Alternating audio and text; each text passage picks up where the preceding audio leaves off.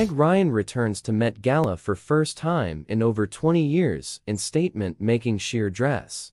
The actress showed off her timeless beauty in a dark take on the 2024 Met Gala theme. Along with regulars like Zendaya, Cardi B, and Kendall Jenner.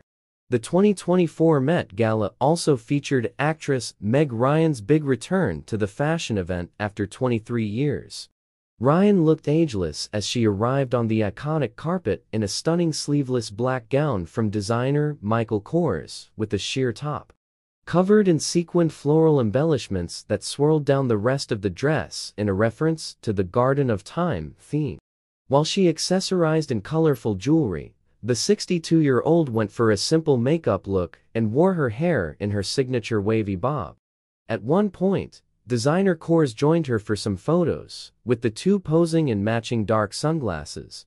The actress looked relaxed and confident at the event, surrounded by other guests like Dua Lipa and Gabrielle Union.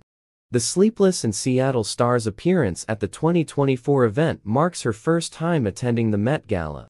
Since 2001, when the theme was Jacqueline Kennedy, the White House years.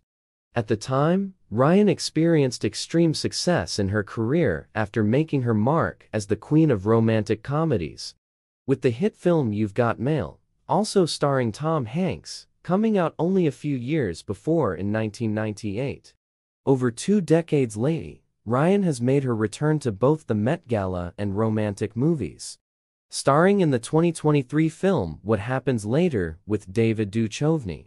The two play EXEs who reconnect after getting snowed in at an airport. With any luck, Ryan will continue to act in more projects and maybe make a return to the Met Gala next year with a new look.